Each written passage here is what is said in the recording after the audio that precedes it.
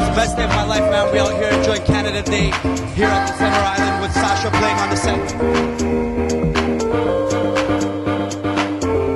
Amazing, amazing. I remember.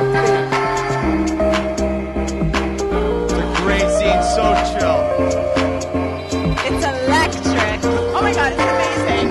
Best party, this is representing Toronto.